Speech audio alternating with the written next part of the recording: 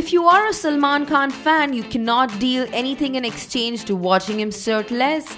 He is one such star who can drop his shirt at any given time without caring a damn about those six pack abs. While it remains to be seen if Bhai will put off a shirt sting in his next film Prem Ratan Dhan Payo. We have now come across this ridiculous cute picture that will redefine hotness, cuteness both at the same time for you. Check it out right here. A leading Salman Khan fan club shared this picture on Instagram stating, Chal beta selfie le le re, though we aren't sure if it's a recent one or a throwback picture.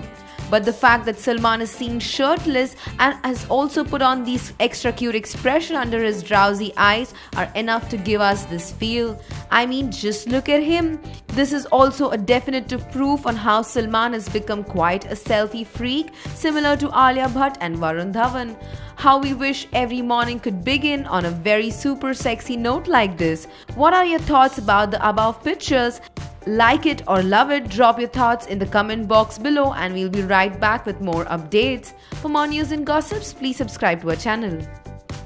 मुझ पर एक एहसान करना बच्चों के लिए subscribe करना